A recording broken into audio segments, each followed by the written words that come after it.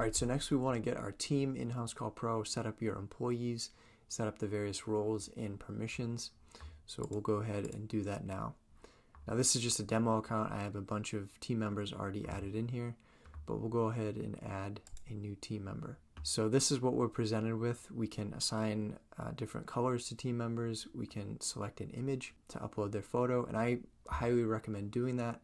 That way, when the tech is navigating to the customer's home and the customer gets sent an automated on the way text, a photo of, of the technician uh, will be sent.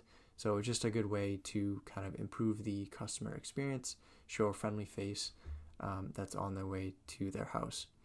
So obviously we're going to enter their name, email, phone number, and then this is where you have a lot of control. We have these various roles starting with the admin owner. If you're the owner, you can be the point of contact person. You can show your uh, availability on the online booking, and then you can uh, allow yourself to chat with customers. If you prefer to delegate uh, various tasks to your office staff, like uh, the point of contact. You can assign an office staff member to be the point of contact.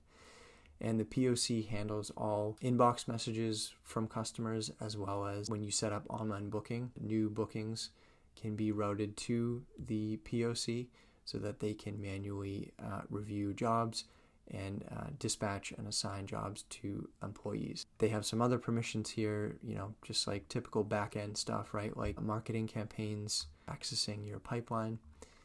And then we have our field tech. We have even more permissions, but obviously the main ones are, you know, to add, edit jobs, cancel jobs, take payments in the field, things like that. And then some additional permissions that you can set up. And again, it just gives you that control to be able to manage all of your staff.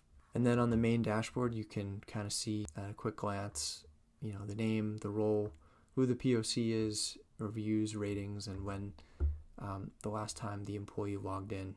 And then if we click these three dots, you can archive team members and then also set up pay details. So if we click into an employee, you can set up their base pay either hourly or if they're salaried.